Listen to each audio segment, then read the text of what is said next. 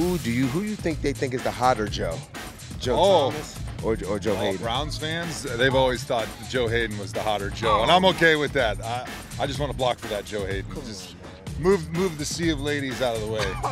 Relax. You know, we're two taken men, happily married men. Happily you know, absolutely. two good looking married men. I don't ask me the question of who's hotter, please. Yeah, Not even, uh, come on, never, never that. that, never that, never that. I got a question. How many consecutive snaps did Joe T have?